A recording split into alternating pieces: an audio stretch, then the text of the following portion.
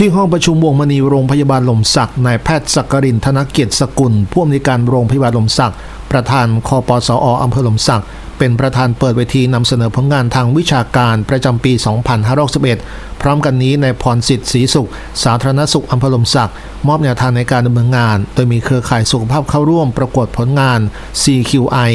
งานวิจัยเรื่องเล่านวัตกรรม คือการพัฒนาคุณภาพอย่างต่อเนื่อง และเป็นการปรับปรุงพัฒนาให้ดีขึ้นเรื่อยๆ การทำกิจกรรมร่วมกันอย่างเป็นทีม การระดมความคิดเห็น การจัดระบบความคิด การตัดสินใจ เป็นการจัดเก็บข้อมูลวิเคราะห์ข้อมูลนำเสนอข้อมูลที่สร้างสารรค์ที่เป็นวิชาการ ผลลัพธ์หรือประโยชน์สูงสุดที่ได้ จะเกิดขึ้นกับประชาชนโดยทั่วไป